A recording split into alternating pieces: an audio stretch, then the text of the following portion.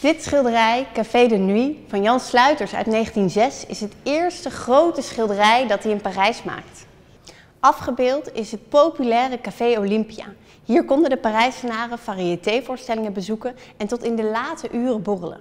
Dat was allemaal mogelijk dankzij de uitvinding van de regelbare gloeilamp. Rond 1900 konden grote ruimtes, zoals dit café, uh, tot in de late uren verlicht worden. Vooral het werk van de Parijse fauvisten en met name Kees van Dongen, een Nederlands kunstenaar die al langer in Parijs verbleef, maakte heel veel indruk op Sluiters. En hij zoog al die indrukken in zich op als een spons en hij schildert dit stralende schilderij. En bijzonder is de afgesneden tafel en de stoel hier aan de voorgrond. En Sluiters wekt hiermee misschien wel het idee dat hij zelf aan deze tafel zat, maar hij maakt tegelijkertijd ook ons deelgenoot van deze feestelijke avond.